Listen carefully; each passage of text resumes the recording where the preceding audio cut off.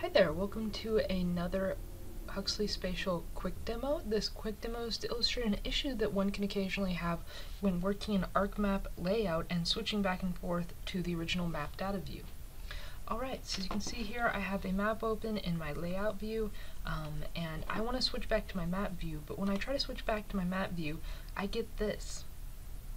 When I switch back to my layout view, it looks fine. But again, when I switch back to my map view, not good. So, what to do here is to make sure firstly to save your map. You always want to save any processes you have done so far or any editing you've done in your layout view um, as much as you can.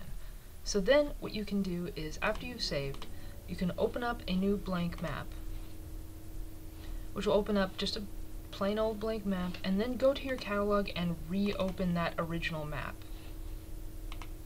As you can see there now, I have no problem switching back and forth. Uh, kind of like starting a Wi-Fi, restarting a Wi-Fi connection, so just be sure to save before you do this, uh, so you don't lose anything you've been working on so far. Thank you very much.